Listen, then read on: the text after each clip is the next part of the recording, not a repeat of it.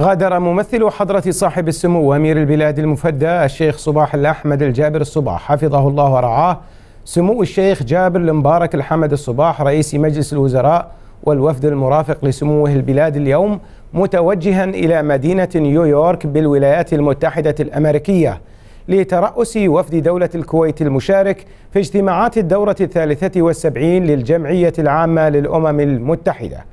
وكان في مقدمة مودعي سمو على أرض المطار معالي نائب رئيس مجلس الوزراء ووزير الداخلية الشيخ خالد الجراح الصباح ومعالي نائب رئيس مجلس الوزراء ووزير الدولة لشؤون مجلس الوزراء أنس خالد الصالح ومعالي نائب وزير شؤون الديوان الأميري الشيخ محمد عبد الله المبارك الصباح وعدد من الشيوخ وكبار قادة الجيش والشرطة والحرس الوطني وكبار المسؤولين في الدولة وديوان رئيس مجلس الوزراء.